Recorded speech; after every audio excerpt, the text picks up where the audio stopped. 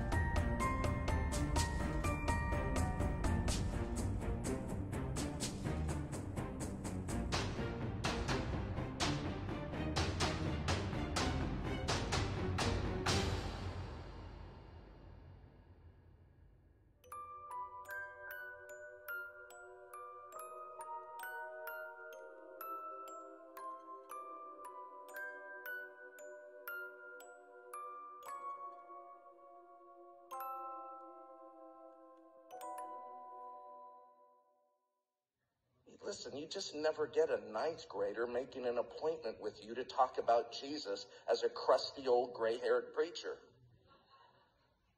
And Grant did, and he sat in my office for well over an hour and just wanted to know how he could draw closer to Christ.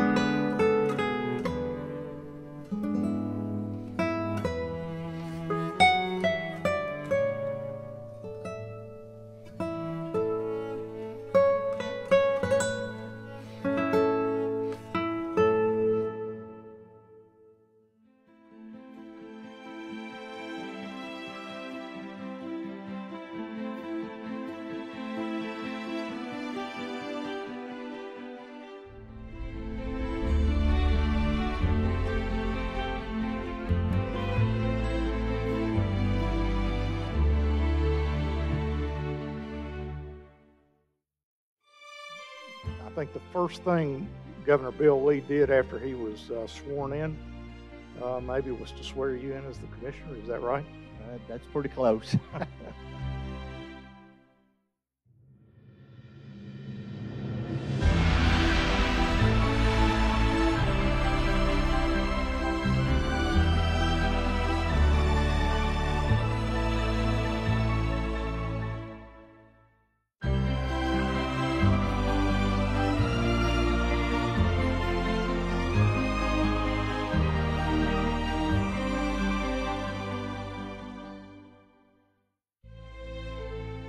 Right now, the faithful like Berger are feeling pretty powerful.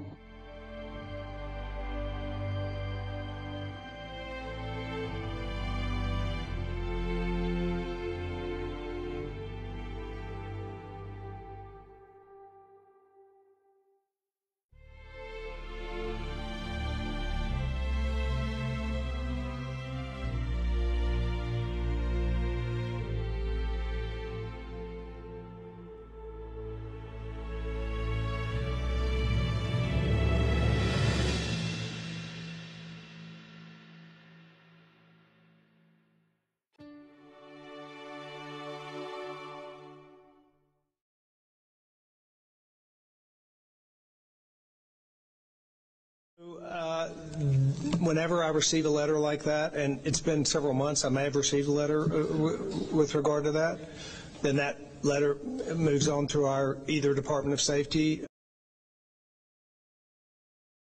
appropriately so, or legal services to determine if there's any reason for our engagement there, but I, I trust the, the investigative process there and, and wouldn't have anything else to say about that. Thank you all.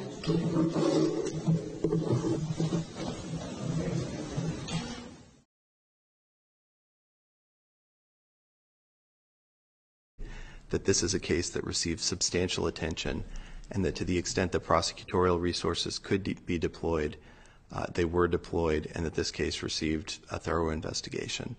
Uh, I do apologize for not responding to the letter. As I said, my understanding was this was a hand delivered letter and that there would be an oral response. But I want to reassure everybody that this is a case that was taken seriously by Tennessee's law enforcement community. Thank you, Your Honor. Thank you, Mr. Skrmetti.